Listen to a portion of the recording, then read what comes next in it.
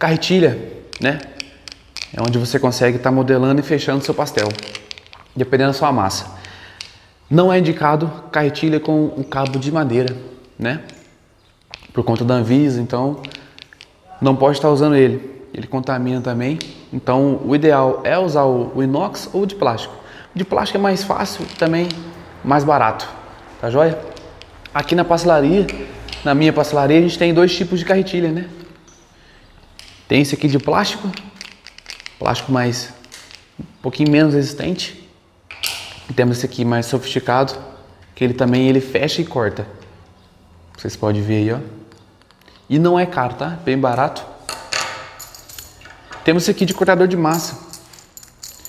Aqui a gente comprou dois. Mas esse aqui também ele corta, modela a massa também. Pode ver que tem uma carretilha aqui de inox. Tá joia?